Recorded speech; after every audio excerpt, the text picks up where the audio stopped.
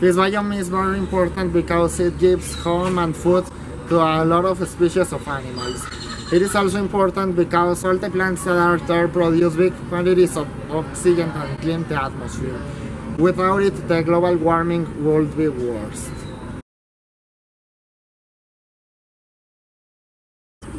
One of the abiotic factors from the shrubland biome is the precipitation. That as it can vary a lot, this can define the height of the grass that grows in the region. And also there is the factor of the fire, which periodically affects the regions as the fire burns the grass and it avoids from trees or other taller plants to grow.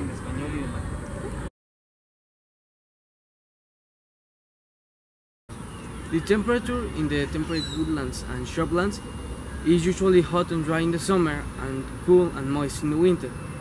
The precipitation in this area usually varies from 200 to 1000 milliliters of rain per year.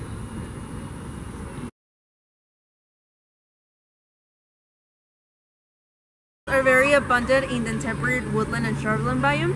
You can find a variety of animals such as the coyote, the bobcat, the mountain lions, which make up the, the predator part of this biome.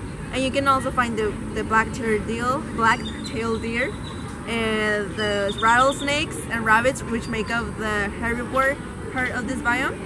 And the plants are, you cannot find a lot of plants in this biome since it's very dry, but you can find shrubs, you can find oaks, and some herbs.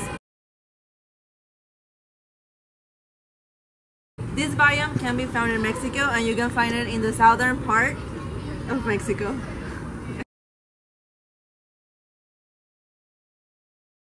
The contaminant that is in constant increase lately is CO2.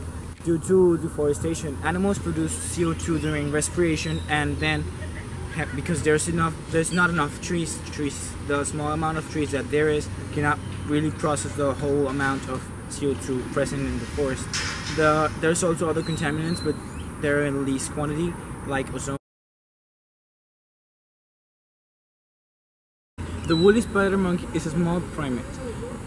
Historically, these primates have been hunted for sport. The legal harvest of trees and legal mining caused habitat loss, resulting in a decline of population of woolly spider monkey.